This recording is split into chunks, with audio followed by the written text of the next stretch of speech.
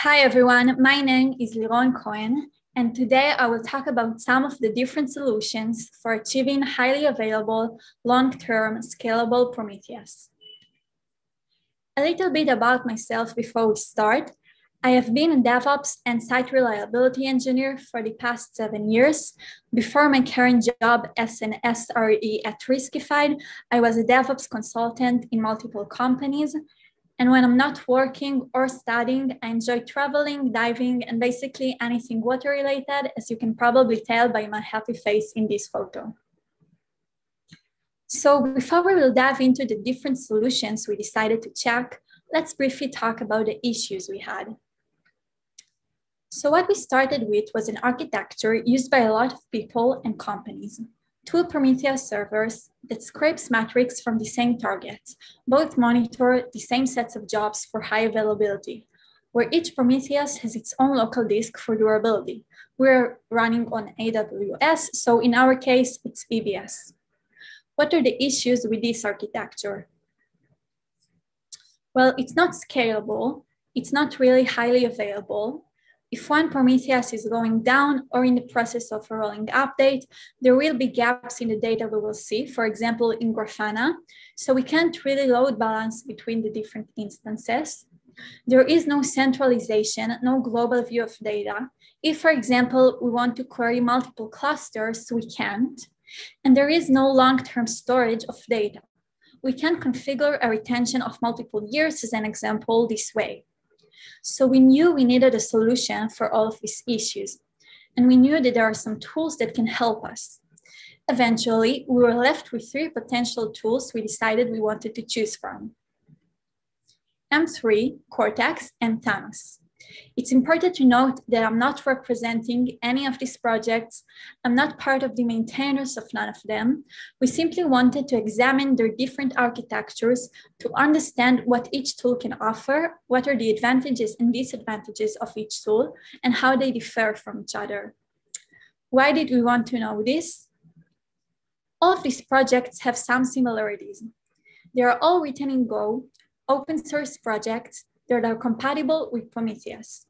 And they all offer us a solution that can suit the issues we just talked about. All these projects offers a long-term storage for our metrics, a global view of data, they are horizontally scalable, and making sure our metrics are highly available and durable. All these solutions provide replication of time series data across regions and or availability zones. So it sounds like all of these tools are doing pretty much the same things. How can we compare them? Well, we decided to focus on different aspects that can be categorized according to four general categories performance, high availability, cost, and operational complexity.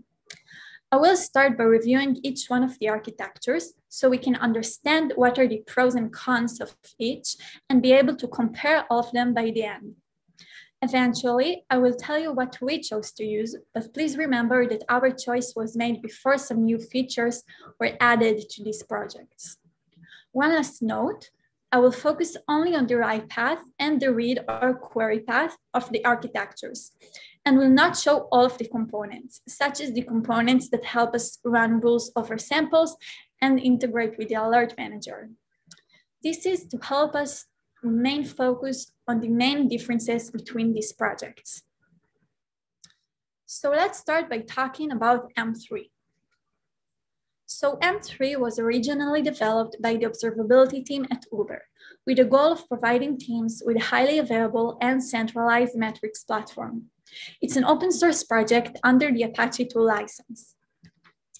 The foundation of the platform is M3DB, a distributed time series database, or TSDB, that has a built-in replication of time series data points across nodes on different availability zones and or regions.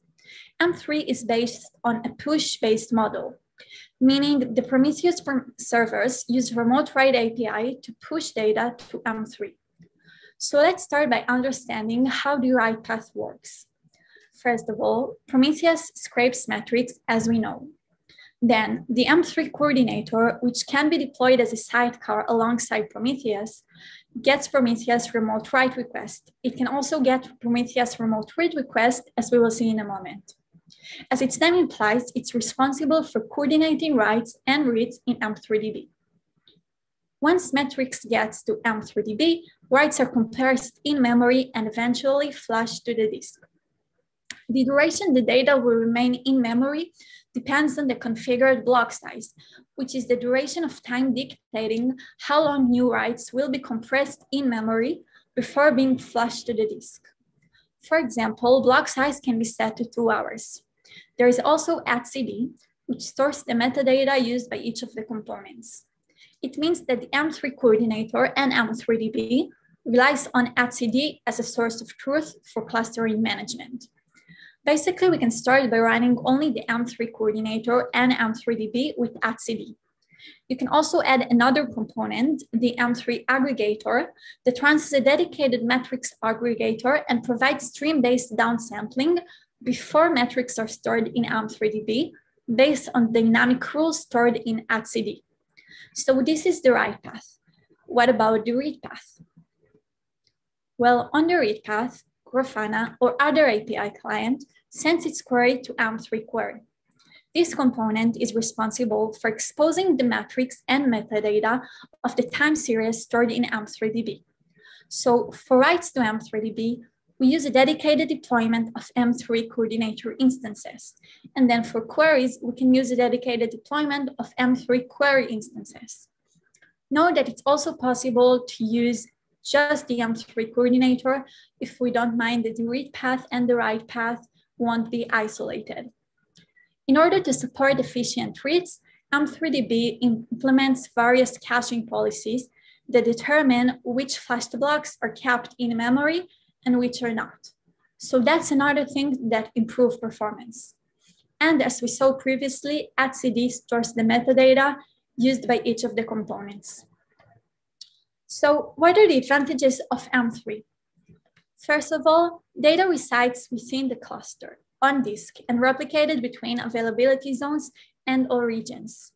There is no use of cloud storage service such as S3 or Google Cloud Storage, which means that A, bandwidth costs are relatively low. So if you're running things both on-prem and on cloud, it might be a good idea for you to use M3 since cloud bandwidth cost might be high when moving data between the cloud and on-prem data centers. And B, it means lower latency, which of course means a better performance. Fetching data from an object store like Amazon S3 might be slower than using local disk. It's also a push-based model system. Prometheus uses remote write API to send data to M3, which also have some advantages, in particular in use cases where you have ephemeral cluster or in terms of availability, if the Prometheus server becomes unavailable, all data up to that point is still available for queries. There are a few components, as you saw, which might make it easier to deploy. So, and in terms of caching queries, there are various caching policies you can implement in order to support efficient reads. So we can see how the M3 solution is really focused on being a system that can manage huge amounts of data, even petabytes of metrics, with the primary concern to scale monitoring horizontally in a cost-effective nature. But the M3 solution also has some cons. M3DB might be complex to operate. After all, it's another database in your infrastructure that you need to take care of and learn how to bootstrap and recover. I will mention that there is a M3DB operator that aims to automate everyday tasks around managing M3DB, but it doesn't automate every single edge case. I will also mention that I found the M3 official documentation lacking, and it might be harder to understand, deploy, and debug it as a result. Second thing to consider is that M3 requires external dependency, etcd. So it's eventually one more cluster you need to take care of. And lastly, the push-based model also has some disadvantages. It might be more complex than a pull-based system like Thanos. We will discuss about it later on. And shipping samples from Prometheus over the network immediately as they are scraped is not very efficient. So after understanding some of the advantages and disadvantages of M3, let's talk about other solution to our issues. Cortex. Cortex is a CNCF incubating project and another solution for horizontally scalable, highly available long-term Prometheus. Its initial focus was mainly on scalability and high performance. And later on, in collaboration with the Thanos team, the Cortex team also added other focuses to the Cortex architecture. When talking about Cortex, we can separate our discussion into two. Chunk storage, the storage that Cortex started with, and block storage, the support for which was added recently with the help of the Thanos project during their collaboration. Most of the Cortex architecture is quite the same on these two use cases, but there are differences regarding the pros and cons and what we can get. Let's start by talking, but taking a look at the Cortex architecture in case chunk storage is in use. Cortex, like M3, also uses push-based model, which means that the Prometheus server use remote write API to push data to Cortex. So when talking about the write path, Prometheus servers scrape samples from various targets and use Prometheus Remote Write API to push data to the distributors. The distributors are responsible for validating the samples they get and can also deduplicate incoming samples from multiple HA replicas of the same Prometheus servers. In order to coordinate which replica is currently elected as the leader, the only replica the distributor will accept samples from, it's needed to have a key value store where the data about the elected replica is saved. And it can be Consul or etcd.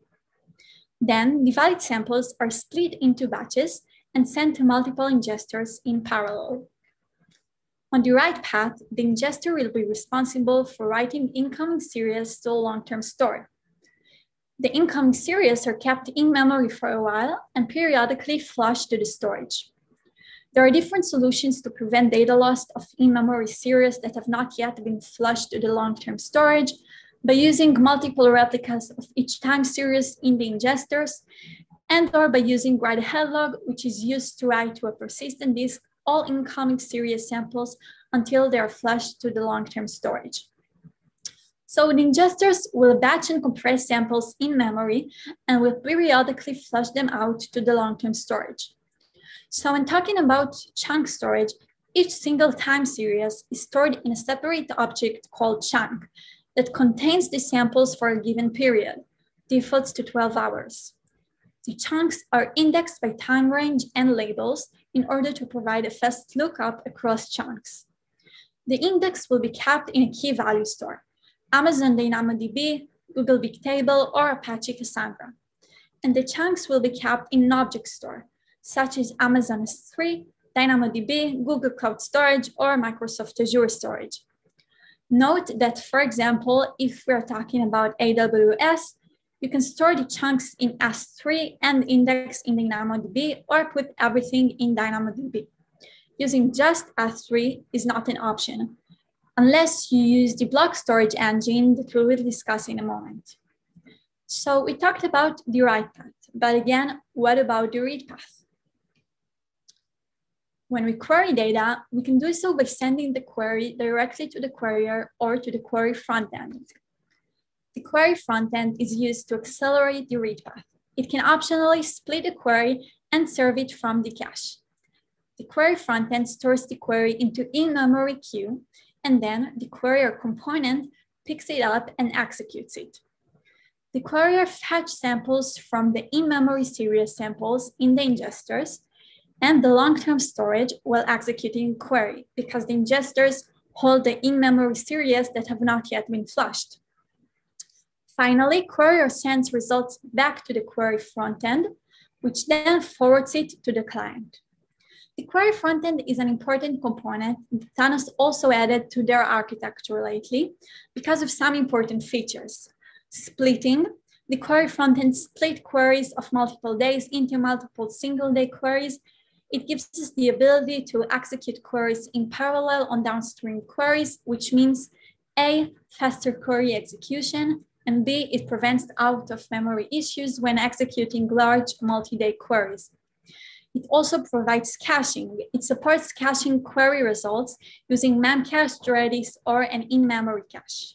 And queuing. It has a queuing mechanism that is used for different purposes, including retry on failure of large queries in case of OOM errors in the querier. In addition to the cache that the query frontend uses in order to keep the results of a whole query, I want us to notice that there are additional caching layers. The chunk cache that stores recent immutable compressed chunks and is used by queries to reduce load on the chunk store, and the index cache index read cache that stores entire rows from the index and is used by queries to reduce load on the index, and the index write cache that is used for deduplication and reducing load on the database by avoiding rewriting index and chunk data that has already been stored. So after going over the chunk storage architecture, let's talk about block storage. The block storage architecture is actually based on Thanos architecture. The block storage itself is based on Prometheus TSDB. It stores each tenant's time series into their own TSDB.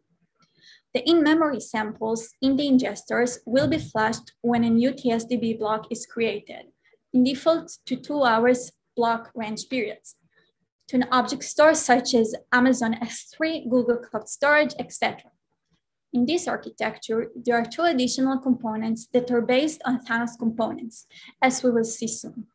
First, the store gateway that query blocks from the object store and is used by the querier at query time.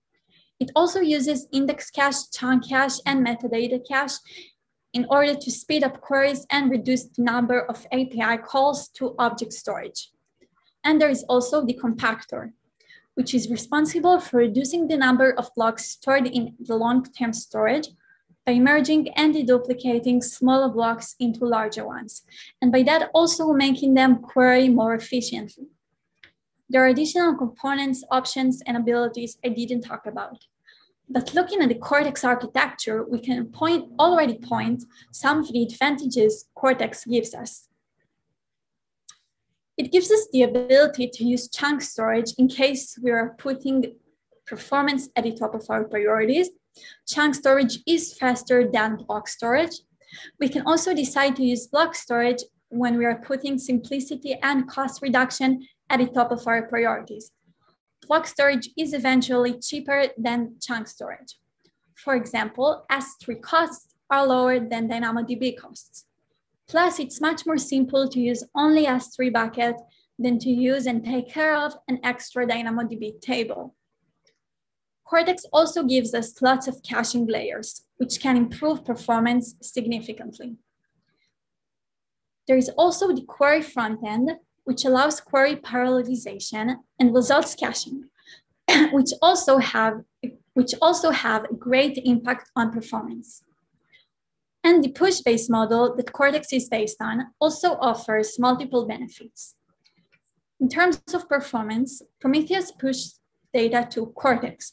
So if the cluster you are collecting the metrics from and the cluster where the querier is are far away geographically, keeping all the data in Cortex will decrease query latency. There won't be any gaps in the graphs caused by Prometheus restart because the pushes happen as soon as the data is scraped. Even if one of the leaves of Prometheus server is down, you will not see gaps in the data. And again, in terms of availability, when an edge location becomes unavailable, all data up to that point is still available centrally. Also, it's a great option if you don't want to enable ingress to your clusters. And basically, it offers all the advantages of a push-based system we talked about earlier when we talked about M3. So we can really see how Cortex has been designed with a focus on high performance of long-term storage. But there are some disadvantages as well. Some people might find it more complex system than others because it includes relatively large number of components. The Cortex team did added the ability to run Cortex as a single binary, which means a single deployment, which make things easier. But in production systems, it's recommended to deploy it as multiple independent microservices, so you can tune and configure the different components. Secondly, in order to use all of its features, such as deduplicating, you rely on external dependencies, such as etcd or Consul. Eventually, those are more moving parts to deploy, operate, and monitor. The push-based model that we mentioned already also have some cons, as we mentioned before. Extra complexity and resources, you need to manage a separate Cortex cluster and storage on top of your Prometheus deployment. If your network has momentary issues and the in-memory buffer of Prometheus cannot hold more data, you might end up losing some of the data and shipping metrics over the network immediately as they are scraped to a remote storage is not so efficient and might cause data loss if the network is flaky. Lastly, the different storage types have some trade-offs as well. Chunk storage gives us great performance, but is expensive when comparing to the block storage, and it's an additional resources that need to be taken care of. Block storage is cheaper and simpler, but its performance is lower. So we saw that Cortex can offer us multiple ways to deploy it. Each has its own trade-offs. As I mentioned before, the Cortex team worked closely with the Thanos team. So both Cortex and Thanos added components and abilities that eventually improved their solution and added more options and abilities. So let's see what Thanos architecture looks like and how their collaboration with Cortex bettered it. Thanos is also a CNCF incubating project and is a solution for highly available Prometheus with long-term storage. Its initial focus was on operational simplicity and cost effectiveness. But as Cortex added new capabilities that were inspired from Thanos, Thanos also added improvements that were inspired from Cortex. Contrary to Cortex, Thanos originally used a pull-based model architecture. That means that Thanos pulls out series from Prometheus at query time. Later on, inspired by the Cortex push-based model, the Thanos team added support for push-based model as well. Let's take a look at the Thanos pull-based model, starting again with the write path. In Thanos, there is a Thanos sidecar that runs in the same pod as the Prometheus server. Its purpose is to upload data, TSDB blocks, onto an object storage, such as AWS S3, Google Cloud Storage, or Microsoft Azure Storage, and to give other Thanos components access to the time series data in Prometheus, as we will see when we will talk about the query path. The sidecar uploads the TSDB blocks to an object storage as Prometheus produces them every two hours. This gives us the ability to configure Prometheus servers to run with relatively low retention. Notice that using this model means Prometheus cannot be fully stateless. If it crashes or restarts, the last two hours of metrics will be lost. So persistent disk for Prometheus is still needed, using Prometheus Remote Write API gets you closer to stateless Prometheus, but it still won't be fully stateless, so it is still always recommended to have a persistent disk. We can see how the write path here is super easy. You can actually only add the Thanos sidecar to your Prometheus pods and configure your object storage in order to save long-term data. What's great about Thanos is that features can be deployed independently of each other. You can start by only deploying a sidecar and gradually add other components to use and deploy other features. Now let's talk about the query path. Grafana or other API client sends its query to the Thanos query component. Then the query component aggregates and duplicates data from the underlying components. It queries recent metrics from the Thanos sidecar, which exposes Prometheus metrics, and older metrics from the store gateway. The store gateway query metrics from the object store and also supports an index cache and experimental caching bucket chunks and metadata caching using memcached or in-memory cache to speed up loading of chunks from TSDB blocks. There is also the compactor, that scans the object storage and is responsible for compacting data and downsampling blocks in order to speed up queries. As for the other projects, there are other components such as Ruler that we want to focus on. So as the, the Thanos and Cortex teams started to collaborate, it has been decided to add optional multiple components as well. A query frontend that can be put in front of Thanos queries to improve the read path in order to have some important features like splitting and results caching. It is based on the Cortex query frontend component that we mentioned before. Note that at the moment, only range queries can be splitted and cached. Those are the only queries that the query that the Thanos query frontend can process at the moment. The Thanos team also added the option to use a push-based model by adding a component named receiver, which receives data from Prometheus remote write and uploads it to an object storage. So again, we can point to some of the advantages Thanos offers us by looking at its architecture. First, its architecture is relatively simple. We can gradually install its components. Storing long-term data in a block storage gives us, as we mentioned regarding Cortex, simplicity and cost reduction. We talked about the pros and cons of a push-based model before, and the same applies here. We also have the option of using the pull-based model, which is the classic one when talking about Thanos. The pull-based model gives us simplicity and it makes the write path more efficient because it ships full compressed blocks every two hours by default, which can also prevent data loss in case of network issues that last more than few minutes. And lastly, it, its recently added query frontend can improve performance. Looking at these advantages, we can see how in Thanos' case, its main focus is indeed on operational simplicity and cost effectiveness. But again, there are some disadvantages. The block storage is slower than the alternative storage solution that Cortex and M3 offers.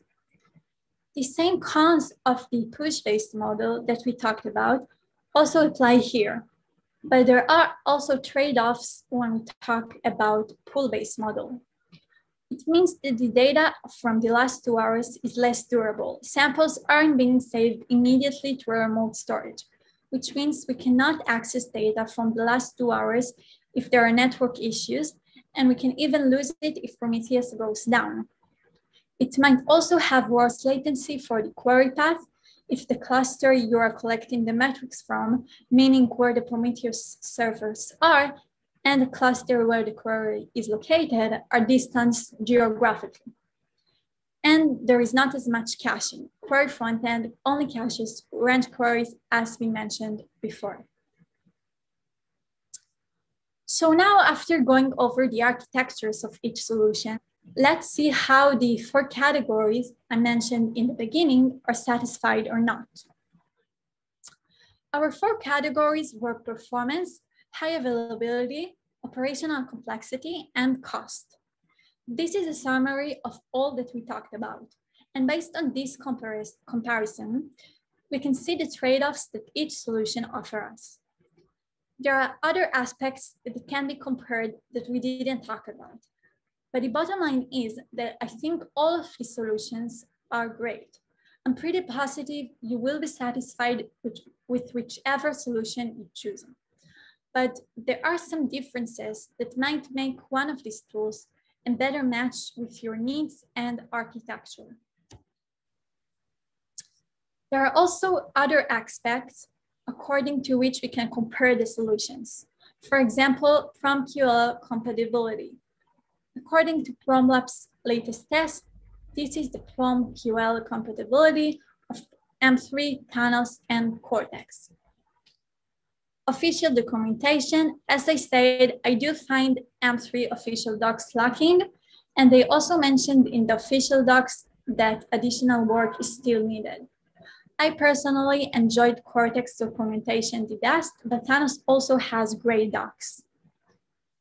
If we're talking about installation via Helm charts, You can find Helm charts for all of these tools, but take note that Cortex does mention that their official Helm chart still needs work, that the M3 offers only a Helm chart for the M3DB operator, and the Thanos does not have an official Helm chart, but does have multiple community Helm charts options.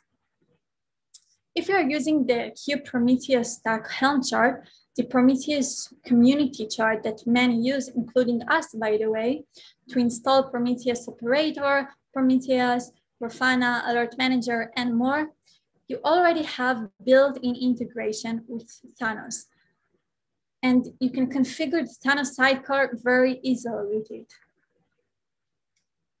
So at this point, I'm quite sure you're asking yourself, okay, so what did you choose? We eventually decided to go with Thanos. We wanted to keep it simple. Thanos offers a good enough performance for our use case. Its costs are relatively low. The kube-Prometheus stack Helm chart which we use has a built-in support to install the Thanos sidecar. So we thought the Thanos answered our needs best. Then again, all of these solutions have pros and cons. The best way for you to choose one is simply to decide on your priorities. And that's it. Thank you for your time and I'm available for questions.